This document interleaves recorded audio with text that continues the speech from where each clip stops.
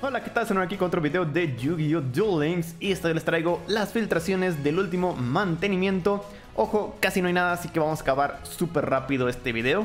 Y como siempre vamos a ir en orden de aparición, pero antes quería agradecer a los miembros del canal por el gran apoyo como siempre. Un gran saludo a todos ellos. Primero, al abrir el juego, tenemos la finalización del evento de Antinomi, donde ya imaginábamos que Bruno iba a salir lo único que nos preguntábamos es si nos iba a dar el indicio de que iba a ser desbloqueable o no. Y al parecer mencionó que sí, ya que sus datos ya están dentro del juego precisamente, dentro de Duel Links pues. Ojo, no es 100% seguro.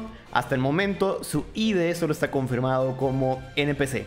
Pero además de eso, nos hizo un pequeño tease de que en el futuro va a venir T1 o Z1 o Zone, como le quieran decir, y también Aporia. Ojo, recuerden que este mes tenemos a uno de los personajes que componen a Aporia o al mismo Aporia. Entonces, de ahí confirmaríamos si esto es 100% cierto, si, si realmente le va a venir Aporia o no. Pero bueno, es, es prácticamente seguro que por lo menos esta One tiene que venir, ya que es el villano principal de la última temporada. Si quieren ver todo lo que hablamos de esto, pueden checar el directo en el canal. Más abajito también estará apareciendo de seguro. Y ahora sí, nos vamos a lo del video. El día de hoy por la noche acaba el evento del circuito. Si alguien tiene algo que hacer por ahí, de una vez acábelo. Y empieza el evento de bingo, en donde nos van a dar el Pegaso del cielo. Yo había mencionado que era posible que partieran el efecto de este y que el oponente tuviera que pagar 500 puntos de vida para negar el efecto. Pero varios de ustedes me comentaron que no era un daño de efecto, sino era un simple pago y que era opcional para el oponente por lo tanto que lo más seguro es que no lo iban a nerfear y tal cual ustedes mencionaron, el efecto está como en la carta real, el oponente puede negar este efecto pagando mil puntos de vida. Por eso es que estoy poniendo eh, la carta como viene dentro del juego, perdón por lo pixeleado. Entonces al final queda como una carta decente, o destruyes o le quitas mil puntos de vida al oponente. Luego de eso tenemos un banner de promoción, eh, supongo que va a ser tres sobres y una SR garantizada. Esto supuestamente sale el día 15 de marzo. Ojo, es posible que empiece el día 14. Y como siempre les, recuerdo, estas promociones con estos banners muchas veces es exclusivo para solo un país. Pero creo que la última vez fue para todo el mundo, entonces no sabré decirles si también va a ser para todo el mundo o no. Así que tómenlo con un granito de sal, tanto la fecha que puede ser 14 o 15 como la disponibilidad para los países. Y bueno, luego nos pasamos a cosas que ya están dentro del juego anunciados. Vamos a irnos rápido con que la banlist ya está aplicada. Ya sabemos que de esperado ya no puedo usar ni a la jueza ni juicio mental. O bueno, que lo tiene limitado más bien. Eh, y que ya está a 3 la embestida Amazonas. Luego les voy a subir el deck al canal. El deck remasterizado. Y también ya está libre la mantela rosa para los decks de plantas. Pero hay algo que no avisó Konami. Hay algo un poco raro. Eh, aquí no dice absolutamente nada que se haya cambiado. Incluso en los problemas, si nos vamos por aquí, no dice absolutamente nada de que se haya cambiado eh, las cosas de la lista de cartas prohibidas y limitadas. Ah, por cierto, las recompensas de Antinomi eh, nos van a dar las 10 gemitas que supuestamente habían quitado por ahí. A todos les debe aparecer en el arco con esas 10 gemas. Pero bueno, eso no es la gran cosa. Eh, lo que mencionaba es que hicieron un cambio a las listas de cartas prohibidas y limitadas. Bueno, a las habilidades más bien que no avisaron, no viene en ningún lado y es a la marca del dragón cabeza. La habilidad de Yosei Fudo se reforzará ya que el dragón de la estrella fugaz se ha añadido al juego.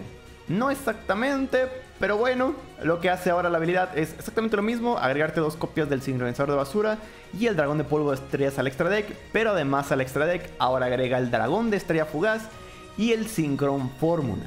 Está bien, pero me gustaría que luego mejoraran también estas habilidades, todas las del marca del dragón, que quitaran a los monstruos. Digo, yo sé que la razón por la que están ahí es para ayudar a las personas que no quieren invertirle a conseguir eh, cartas para poder hacer los sincros, ayudarles a sacar esos sincros.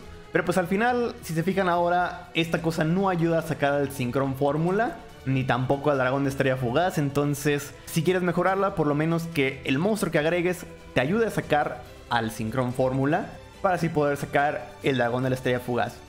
Digo, al final van a tener que de todas maneras invertirle un poco de gemas para poder sacar el Synchron Fórmula, así que pues, mejor ya quítame esto, ¿no?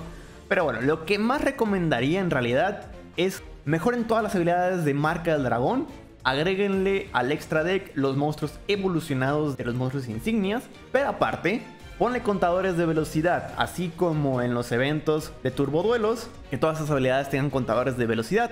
Y no pido que tengan las habilidades rotas de destruir una carta, pero que sí te permita invocar ya sea un monstruo desde el cementerio o en, el, o en este caso que te ayudara a sacar al Synchron Fórmula. De que, ah, si tienes 10 contadores, puedes sacar el Synchron Fórmula. Y obviamente eso motiva a tener un deck que spame monstruos, un deck que pueda hacer sincros para sacar más contadores rápidamente.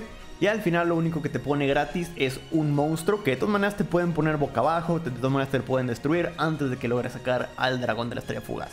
Así que no estará roto y como dije harían usables todas estas habilidades de la marca del dragón. Pero bueno, díganme ustedes qué opinan en los comentarios, cómo creen que deberían de mejorar todas estas habilidades. Y también están emocionados porque pues ya por lo menos ya pusieron el dragón de la estrella fugaz como habilidad permanente para Yusei. Esperemos que también hagan lo mismo con los demás en el futuro. Y que por lo menos nos avisen, que nos pongan aquí en rojo de que, oye, hubo un cambio desde la última vez en las habilidades para poder meter esto. Pero bueno, eso será todo por este video. Como dije, es un video corto, ya que no hay mucho. Si aparece algo más, se los estaré informando en la pestaña de comunidad y también en las redes sociales links en la descripción. Muchísimas gracias por ver este video, recuerden dejarle like si les gustó, no olviden suscribirse al canal si no han hecho y nos vemos en la próxima. Bye bye.